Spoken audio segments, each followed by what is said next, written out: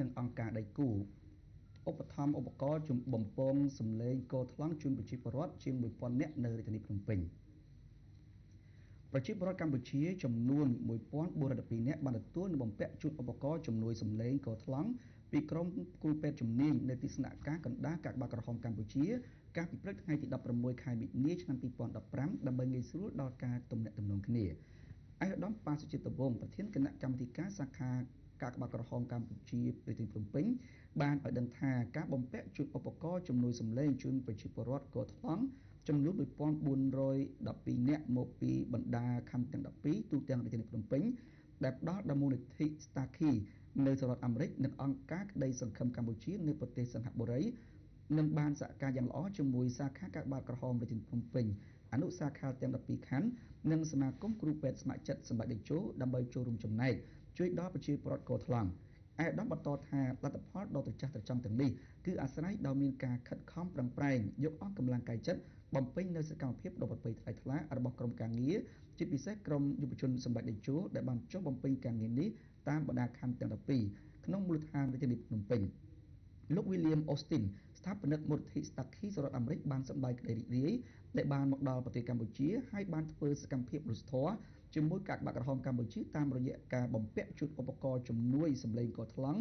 ដល់ប្រជាពលរដ្ឋកម្ពុជាដែលកោថ្លង់ឲ្យមានទំនាក់ទំនងល្អជាមួយមជ្ឈដ្ឋាននានាលោកបញ្ជាក់ថាអ្វីដែលជាការប្រសើរបំផុតនោះគឺការជួយគ្នាទៅវិញទៅមកទោះក្នុងកលៈទេសៈណាក៏ដោយ អំណោយដ៏ថ្លៃថ្លាបំផុតនេះគឺជាថ្ងៃមិនអាចបំភ្លេចដែលប្រជាពលរដ្ឋកោថ្លង់ទាំងឡាយបានទទួលនៅរបត់ថ្មីតាមរយៈការស្ដាប់ឮនិងមានទំនាក់ទំនងជាពិសេសជាមួយមជ្ឈដ្ឋានដែលពួកគេមិននឹកស្មានដល់លោកជំទាវខួនសុដារីអនុប្រធានតំណាងសម្ដេចកតេប្របណ្ឌិតបូរនីហ៊ុនសែនប្រធានកាកបាទក្រហមកម្ពុជាបានបញ្ជាក់ថាកាកបាទក្រហមកម្ពុជាបានសម្របសម្រួលយ៉ាងខ្លាំងដើម្បីឲ្យមានការស្ដារតិសម្បទាលើប្រជាពលរដ្ឋកោថ្លង់ទូនីតិជាដំបូង ការយកការឲ្យអាជ្ញាធរសាធារណៈកាកបាទក្រហមកម្ពុជា ក្រោមការដឹកនាំរបស់សម្ដេចកតេប្រមត្តបុរនីហ៊ុនសែន